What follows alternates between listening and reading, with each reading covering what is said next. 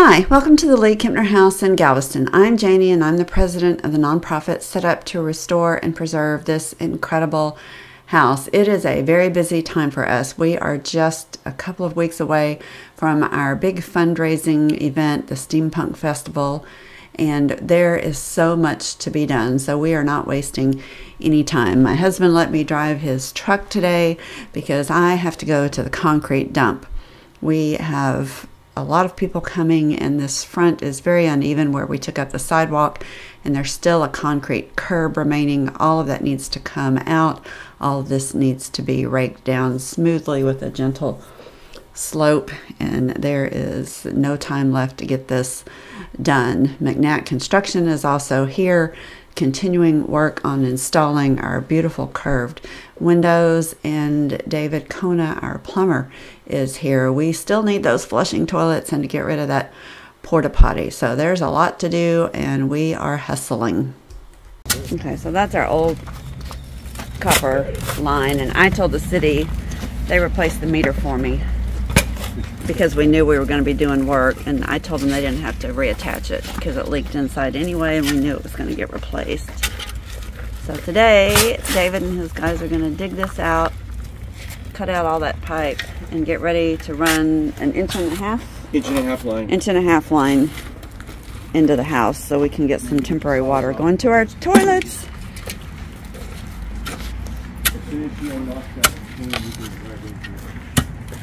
And I can take, uh, unscrew this plywood on the door over there so y'all can go in and Okay. out there a bit easier. That'd be great. There's just like three little screws in it. Good morning. There's Walter. Lots have changed since you were here. big plumbing day. It is. It's a big day all the way around. Okay, they dug a big hole and everybody left. I think they went to go buy the material that they need, but that's interesting. That there's the remnants of a little brick wall coming out here. So I don't know what that goes to. But you can see here the dirt is way up over the original foundation of the house. Let's go see what Joe is doing.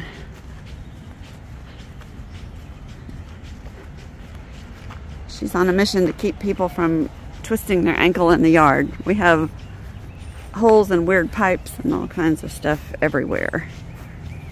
Is that a hole or a pipe? It was a hole, It was a hole. but it had grass on top of it, so I'm putting the grass back. oh, see? Oops. And she found a More of a pipe. dip. She found a pipe out Oh, you here take a picture so I can fill that in. yesterday or day before, someday. Oh, there it is. It goes way down there. You don't know what that is, but it looks to be something cast iron that somebody poured a concrete plug in, but the plug is broken, so I don't know what's going on there. We're going to put dirt in it. And this is part of the old drainage system. So maybe that's a pipe coming out of here where they collected water and sent everything into the basement of the house into the cistern. Are you filming or talking to Kelly? I'm talking to myself. No, I'm filming. Because since you filmed down my shirt when I I possibly filmed down your shirt. you might wanna, yeah, We'll cut that out. Today, Ben and Josh are back working on that same window. They are doing some very, very minor adjustments to make sure that everything fits and closes exactly as it should. And one problem area is where the bottom of the sash meets the sill. That sill is sloped, and so the bottom of the sash has to be cut at the exact same angle for it to fit snugly. And to do that, they're going to make a scribe, and I'll show you what they do to correct that. Okay, we got the hand planer today. So too fine of a work for power tools. I left my uh, I left my handy dandy saw that has a curved base Does it really have a curve? No, I don't know. That, I don't know. Ah, that that's make a new one. one, that's a well, new you know, one. If you if you're thinking about cutting this, like the base of the saw would. Well, you could use the jigsaw and turn the turn the angle. Oh yeah. That'd be fun. If I see people getting jigsaws out for stuff, something that's Something's wrong. no. There's a time and place for jigsaw. They're just not as accurate as if I cut.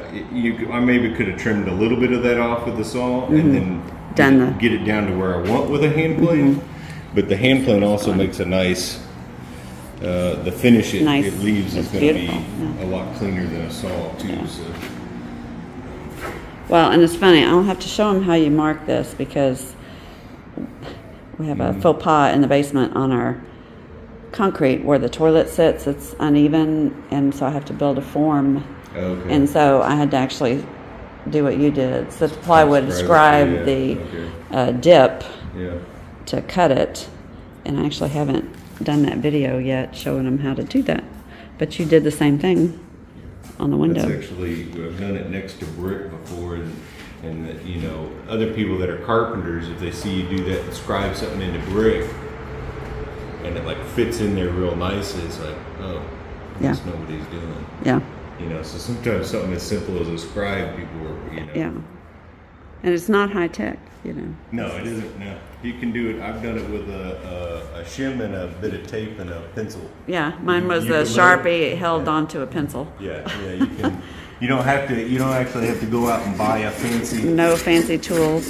You can. They do have some pretty nice um, scribe tools out there.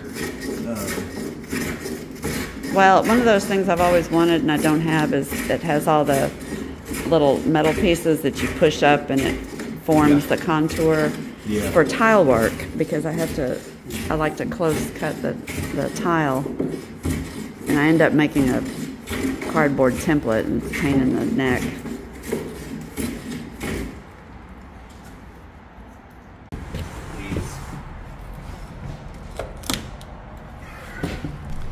Once the sash was perfectly seated against the sill, it was time to move on and start putting the outside trim in place.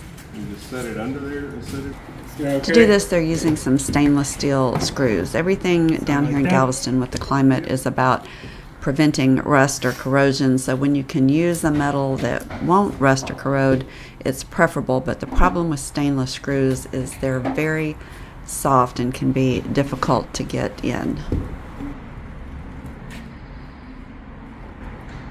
Need more screw it, or you got screws up there? I probably need a couple more. Couple more.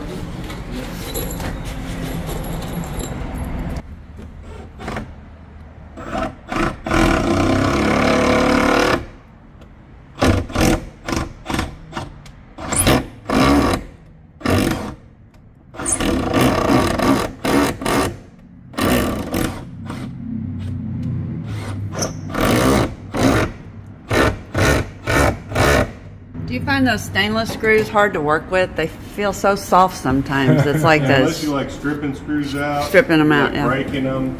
Yeah, they're awful. Yeah, you got to pre-drill Really them drill like 'em. that while I'm going back and forth, just so I don't twist them Yeah, off. yeah. Yeah, you gotta. They're a pain. I say you gotta treat it like I I would gingerly. Ginger. Ah ha ha. Carpenters are known for their bad jokes. I am at the concrete dump and taking a little break. I'm almost done. And just a weird thing that my brain does is I'm doing repetitive tasks like this. Sometimes my brain counts. So it's been counting how many pieces I've thrown out.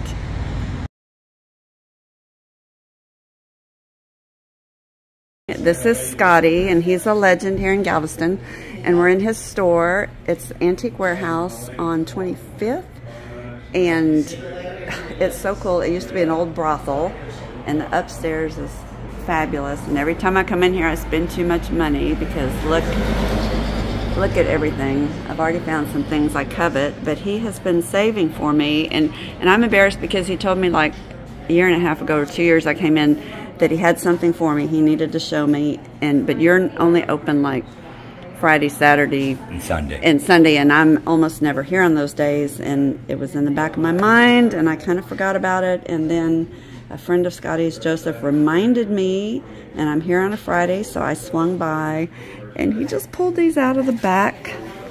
And they're, you, well, you tell what they are, because you know I'm just seeing them for the first time, and so this is where the crying may start, but go ahead. Um, so they're scrapbooks of the people that um, were living there. This The- is dated 1939, and I believe it was the wife doing the scrapbook, the scrapbooking. so in 39 would have been um, Samuel's. Eliza Kempner. Samuels bought it in '72. But but but the Samuels uh, may have been keeping these before they moved in the house. Okay, they may be that very good. old. That's a yeah, that's a thought because the uh, Samuel John Samuels bought the house and put his mother and father in there, and he was a postmaster. That's right. I think from And- Galveston. So and most things in here are from the postal. Oh, okay. So yes, so that makes sense that these would be John Samuel's mother's And scrap. what- and look there, it's an old wallpaper book. Yes, they were when you went to when they when you wanted to do wallpaper, and they would come to your house, and um, you know go through the Bring pages. you the book. Yeah. Right. and we're in here and we're looking for um, uh, I believe I saw the uh, the the the title to the building Oh, look, there's the bishop's palace. Bishop's Palace here's the beach they have a lot of Galveston uh, Galveston built for protection here's a historical homes tour the Oleander Oh, from I don't I don't that- know if they gave the year. But you got Bishops, Bishops, Ashton Villa, Samuel May. oh, Uh, that that's Jean Lafitte's. It's gone it's now, but gone it's on now. It burned. it's on it? Harbor Did, did but this part this part's there That's though. still there. Yeah, I just drove by that. Actually. So there you go. Here's some Oh fun my stuff in here. Um, photos. Here's a storm. Here's one of the storms. Wow, look at this. Oh my gosh. That's just fine. what the heck is that? These are real photos. This is. And that's a seawall. this uh, is our seawall. 1940. But I don't I'll know- have to look up the That looks that looks like maybe there's a storm here, but we know that looks like uh, the Buccaneer with the archways. But I thought the Buccaneer was up on the beach. Uh, no, it's across street. So I don't I don't know what that is. I don't know what that is. It's, it's on that's on the seawall Oh though. So it's cool. So you got some investigation. All right, this is going to take months because I will have to read everything. Galveston Daily News Wednesday, 1938. Someone out for a joyride, one of the workshops. I saw I saw the address, and I was like, she's really gonna love this. So she just cut out all kinds of strange things that She she, did, and was she interested in. and she wrote on them, and you know, Okay. um, all Galveston stuff. you know, gosh. Jamie. It's pretty cool.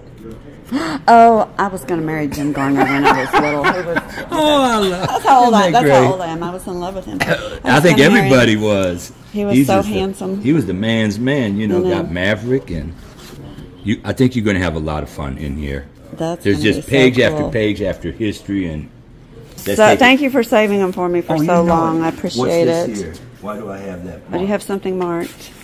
Maybe that's the What's this?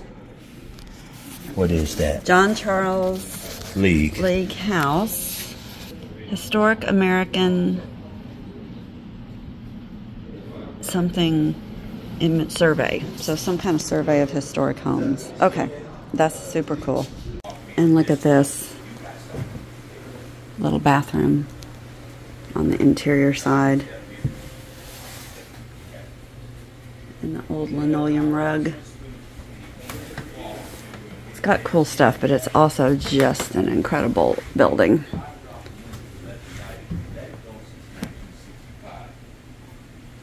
And the plumber's back. They dug a hole and promptly left. It was actually lunchtime, and then they had to go get material. So they are back, and it's turning out to be a fabulous day. All right, I'm back from the dump. It's always a good time being back And- from the dump. Back from the dump, back from the concrete dump. And I didn't find any goodies today. Usually I come back with something, but look. Oh, and have a lock. Oh, and show them. I'm gonna climb up and show them. Oops, how uh, when you lock that, how it how it um. Here, you'll have to work the lock. Let me show them how it snugs together. Yeah, it will So actually. see, it, there's well, he doesn't have the inside stops in, but when he when he closes Yeah, the I'm- lock, Right now, it still lo- Yeah, moves a see little how bit, it- but it'll actually. you can see it pull together. It's not for the. snug Uh, up. It's so pretty, and I'm gonna bring the sash pull and put on, just even though it's not painted, just because. But I think I mean it's not it's not perfect on the bottom, the but bottom? it's it is sealed the whole way. We don't have any really any light coming through. Mm-hmm. And it's pretty even going across there and it's pretty close to what I flush? Oh, there it is. Okay. at the top here too. So you know I'm not like- I'm not too disappointed on that. Okay, we're gonna play Never Have I Ever. So Yeah. Ben's question to John was, Yeah. had he ever seen a lead weight on a window? And the answer is No, I've No. never Well, seen now it. you have. never have you ever. How do you know it's lead? Did you taste it? Yeah. Okay. Sweet. The window sweet. Very nice. Very, very nice. All right, only two more to go. Number two.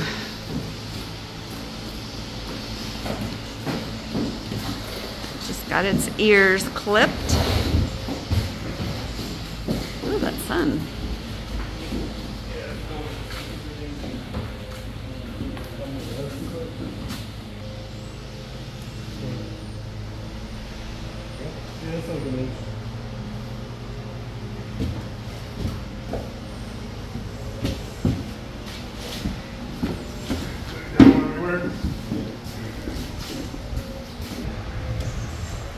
Oh, you screwed that down.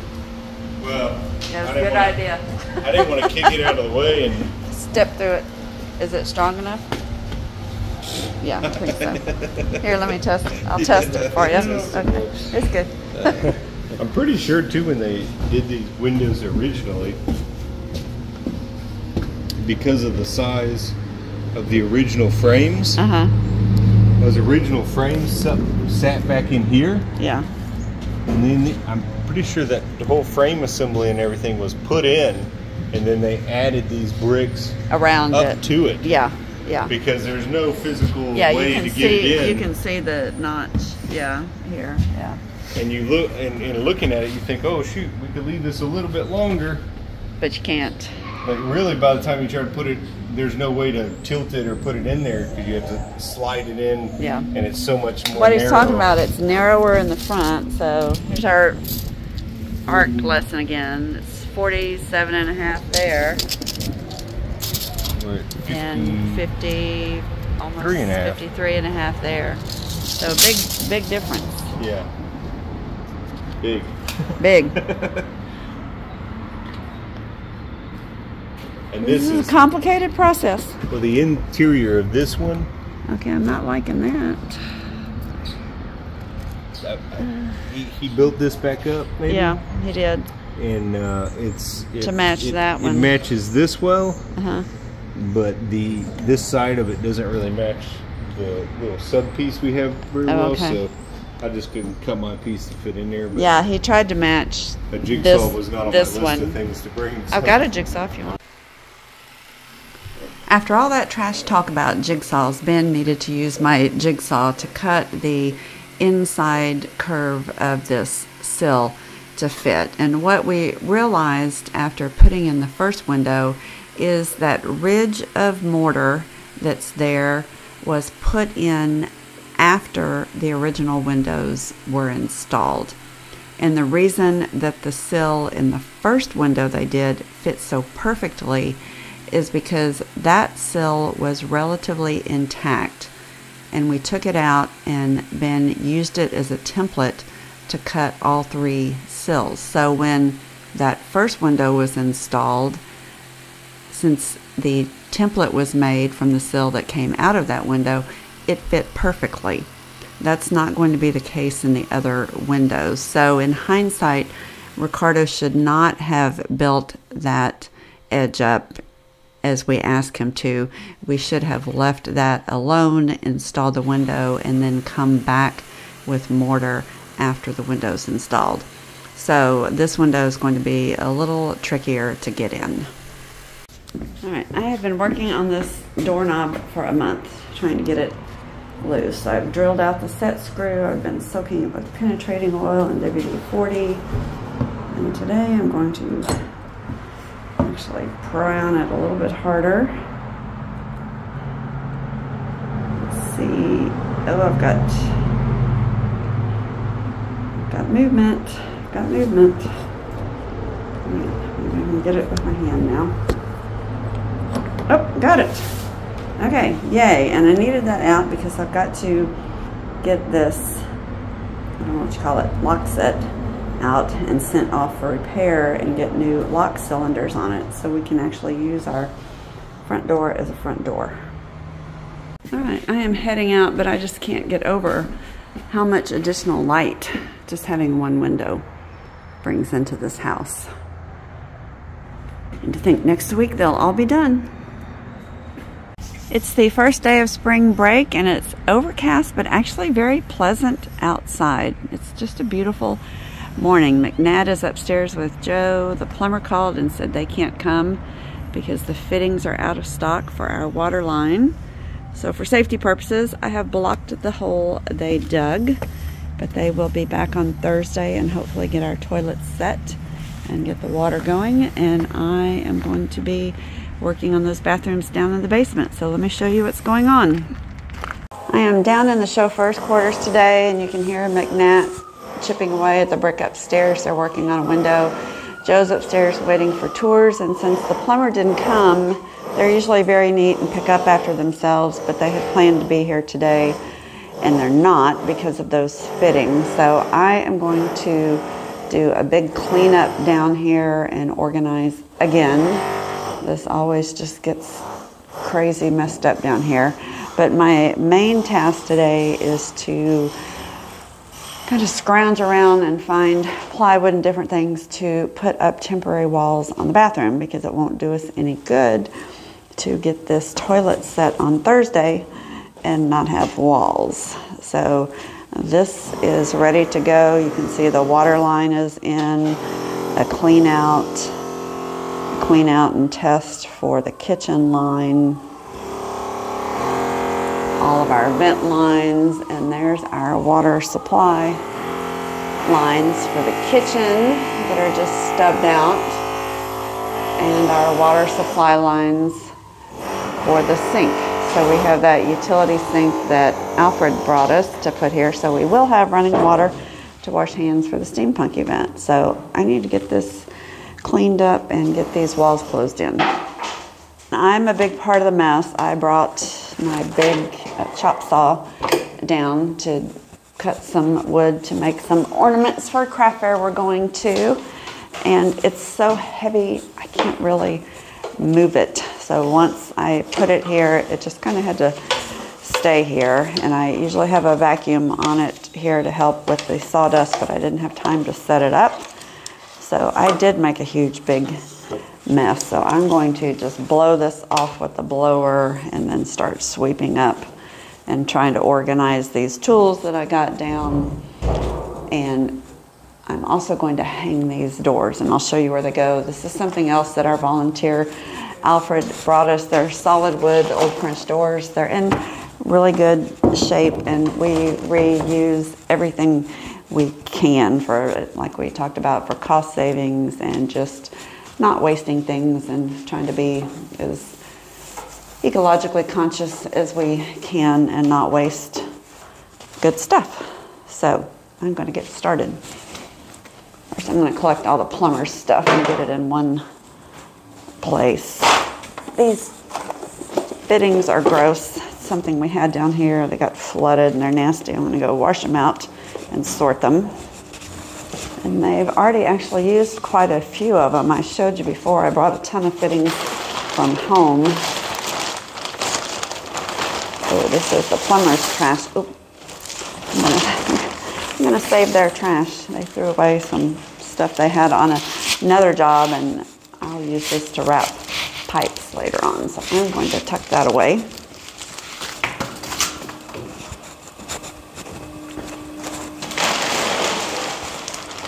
There's some more I already picked out the other day. I'll take that home to my husband. He loves this stuff.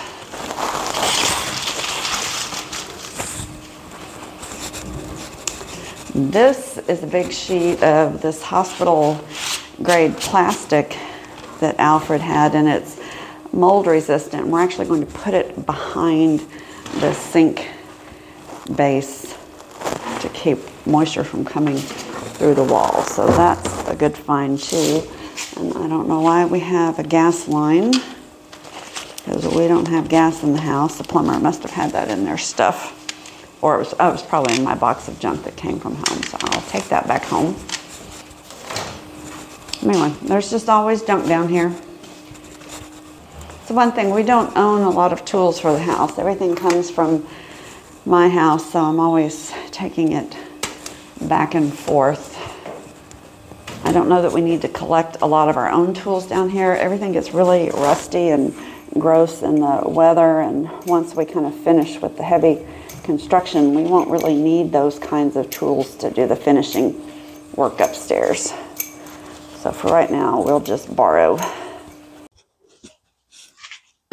Okay, I am about to mix up some concrete and fill in the hole the plumber had to chip out and dig out to replace the pipe for the toilet. And uh, it's going to be a two-step process. I have to put concrete in first, then I'll have to put up my form and do the leveling compound to get it level up to the bottom of this collar. But I've wet the concrete, wet the sand, tamped it down real good. There is a piece of rebar going through there, so hopefully that will hold it in place. And I'm going to go mix up my concrete.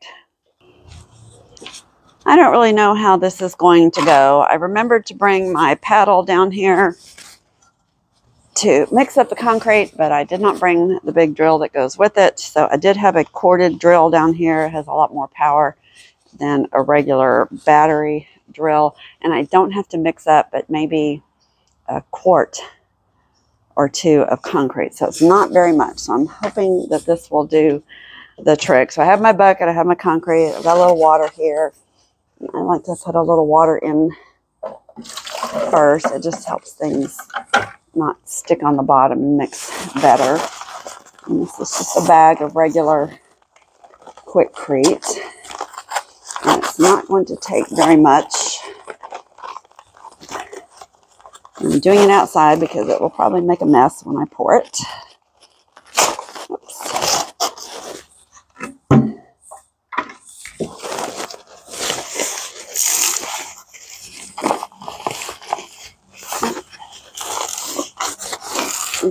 Going to pick it up. I'm just going to tip it because I don't need I don't need a whole lot.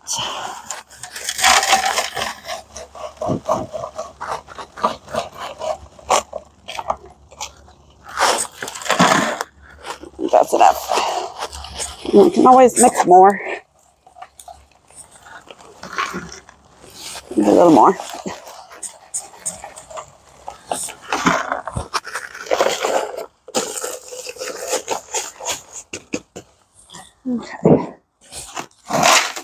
Start with that.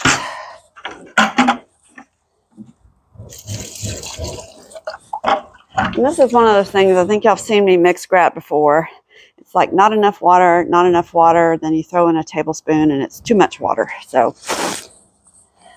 start out light on the water.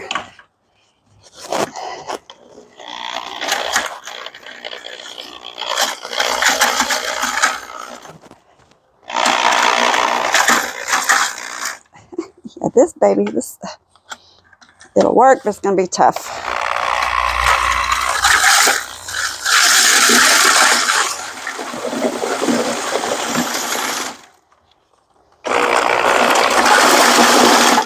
The chuck can't even hold this. It's just, because look, it's going to come out. I can't even tighten the chuck around it, but it does actually turn.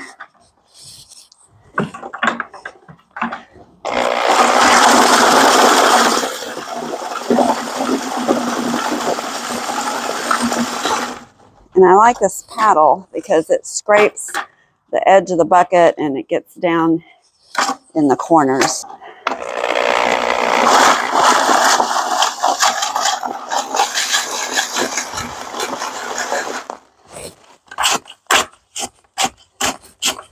That looks pretty good.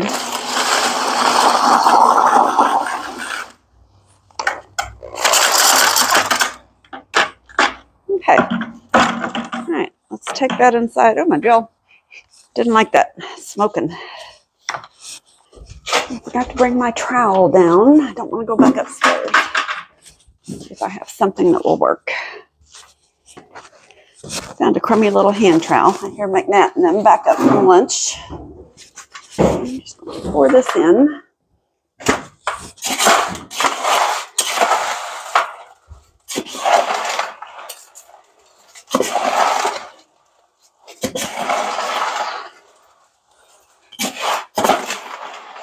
That hole might be bigger than I thought.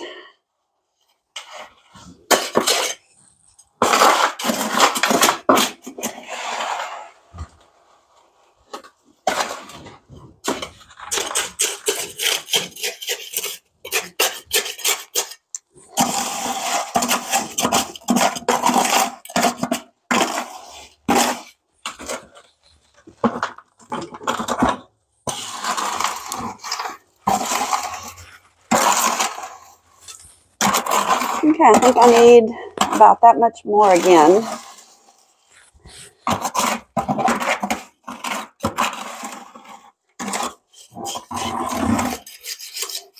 Hmm, Maybe twice as much more.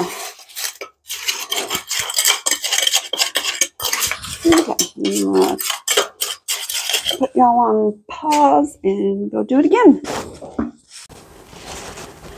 Okay, the drill was not happy, so I did this one pretty thin and added a little more. And I just finished mixing by hand. A little arm workout.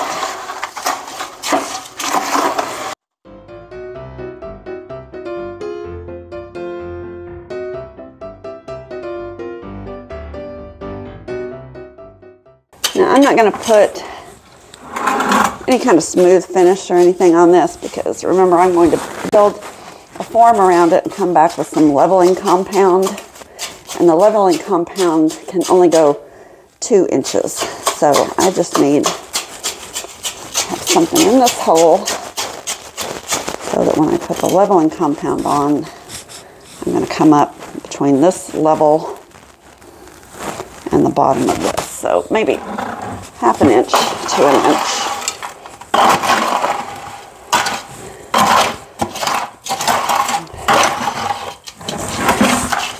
So I just want to come up to the level of the concrete floor itself or just a little bit below. I'll let that cure. Today's Monday. I'll let that cure and then Wednesday I'll come back with the leveling compound. And then hopefully on Thursday there will be a toilet here.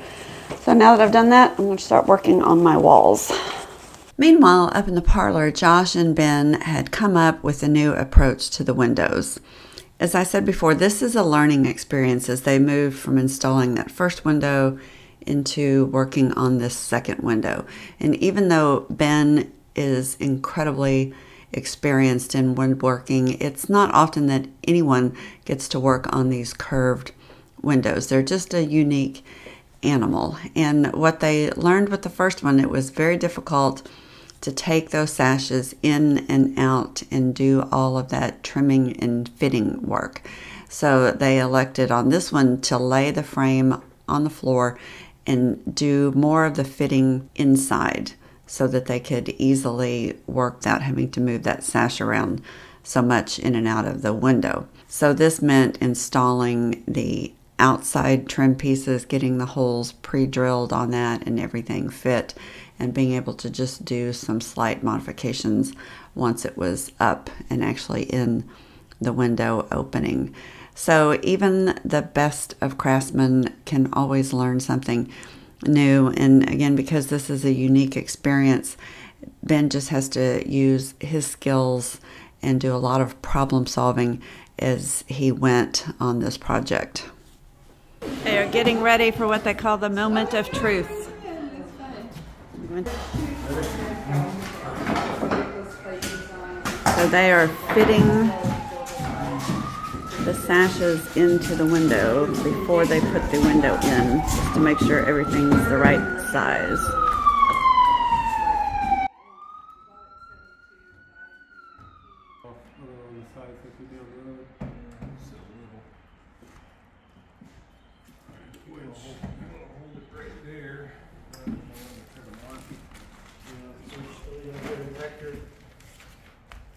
Mark with it sticking out that far over there.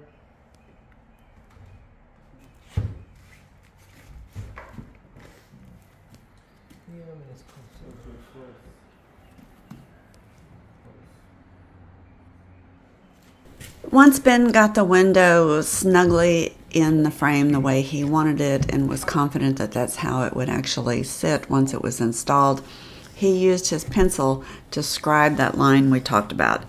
And if you notice, he's just holding the pencil tight against the bottom sill and there's that small distance between the wood of the pencil and the actual lead. And as he drags that pencil across the sill, the lead transfers the exact shape of that sill up onto the sash. This is a very common technique. You can add pieces of wood to make that distance anything you want, but in this case, just that little bit of distance of the pencil itself is enough to transfer that line.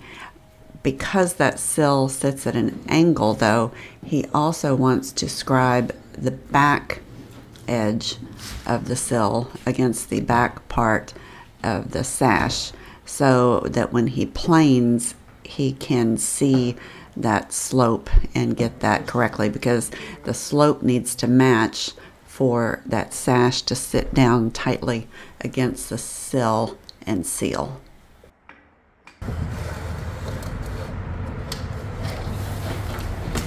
Because the sill actually slopes.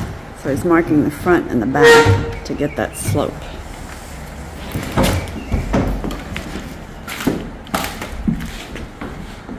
That is it for the video this week. It's already long, but there is still a lot of work to do. So be sure and subscribe and turn on notifications because we are halfway to meeting our goal of having a video out every Sunday this year. We are trying hard not to miss.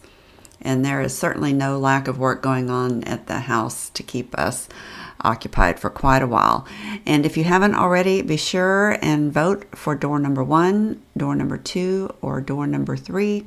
We are holding voting open until June 1st. If you don't know what we're talking about, go back and check out last week's video and see where these beautiful designs by Heather are going to go on the outside of the house. We are the League Kempner House in Galveston, Texas. We appreciate you watching and we hope to see you back next week.